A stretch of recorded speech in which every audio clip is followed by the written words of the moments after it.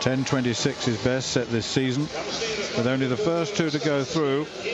There'll be a big uh, roar for Bockarie, transferee from Sierra Leone. He was the flag bearer, incidentally, for that uh, team in the Olympics. But there is the man of the moment, Jimmy Vicaut, co-holder of the European record at 9.86 set this year.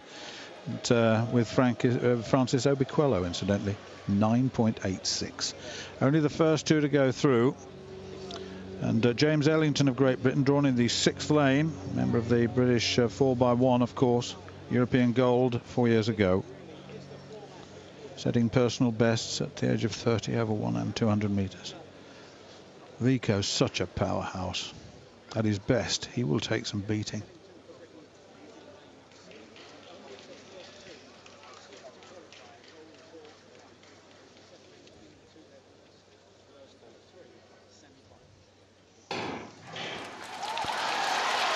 Vicaut's uh, away, but not away as quickly as he would be. There he goes. Now he's starting to move away from this field. Ellington coming through into second place. Uh, yes, he is. Ellington and Guliev.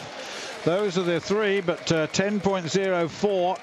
And that was a very, very easy uh, qualification for Vicaut. You're going to see an awful lot more uh, from that. He he got away okay. It wasn't great over the first half, but my goodness me, the power he showed over the latter part of that 100 metres when you can run sub uh, 10 uh, then uh, and the way you do it. But Ellington, there's a good run by him, I must admit, to get second place, 10.04, personal best. Well done to James Ellington.